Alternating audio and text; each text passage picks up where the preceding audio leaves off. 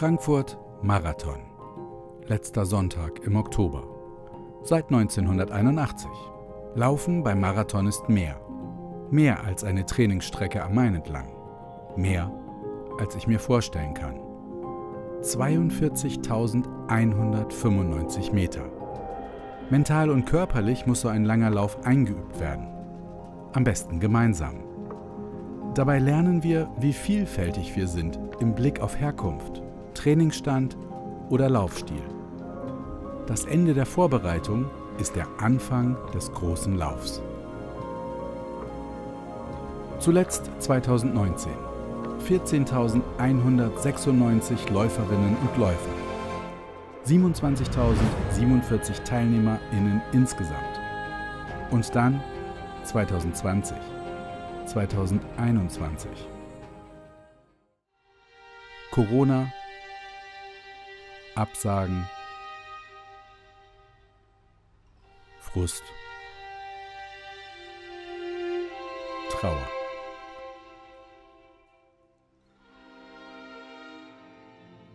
Und Hoffnung.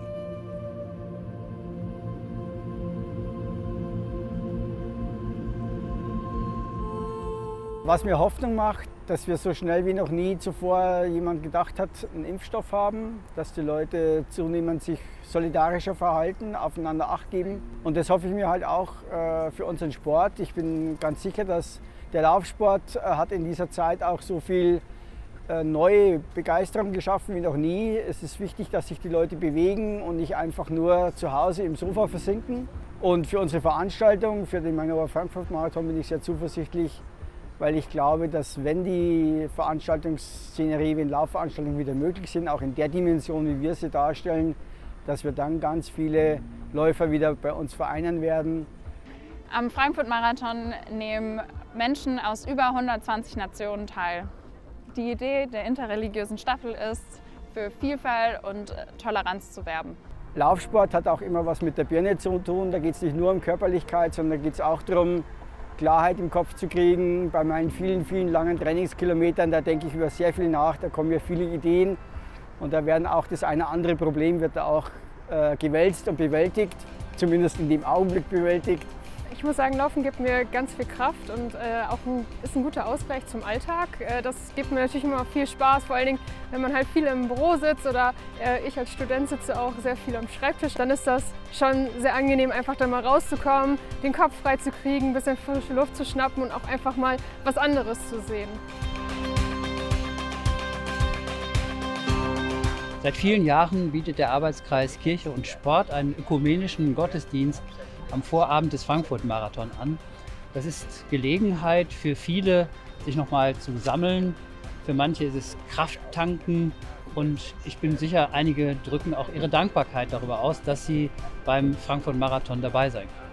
Es ist nicht nur eine Dankbarkeit, dabei sein zu können, sondern auch die Dankbarkeit, dass man eben äh, die Gesundheit dafür geschenkt bekommt und eine Dankbarkeit auch, was wir immer auch benennen, äh, für die vielen ehrenamtlichen Helferinnen und Helfer, die äh, sich bereit erklären, den Marathon auch überhaupt erst möglich machen zu können.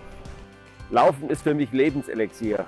Das ist unglaublich wichtig, mich zu bewegen nach dem vielen Sitzen, was sonst einfach so tagsüber normales Programm ist. Und äh, deswegen liebe ich es, auch abends noch mal laufen zu gehen.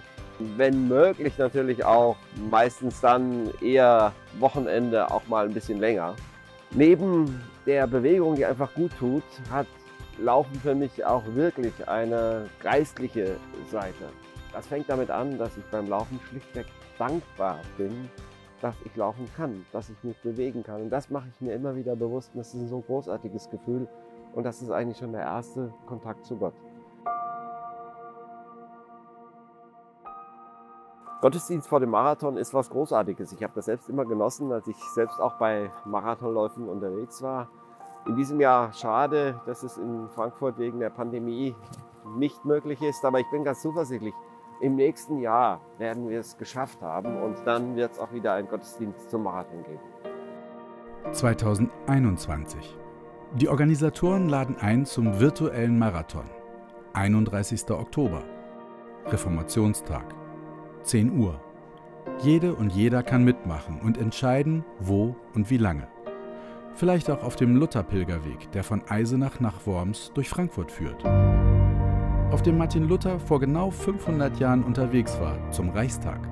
2022. Die Hoffnung lebt.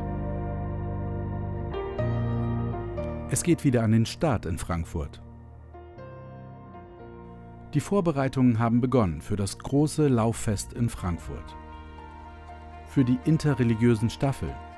Für den ökumenischen Gottesdienst.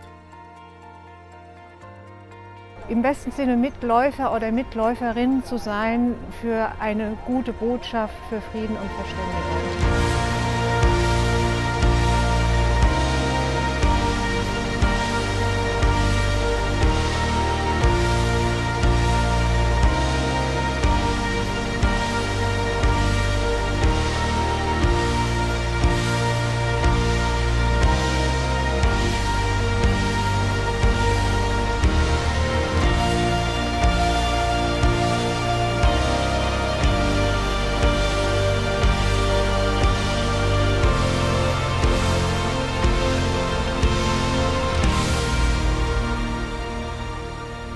Möge die Straße dir entgegeneilen. Möge der Wind immer in deinem Rücken sein. Möge die Sonne warm auf dein Gesicht scheinen und der Regen wie ein Strom der Hoffnung sein. Und bis du das Ziel erreichst, halte Gott dich fest in seiner Hand.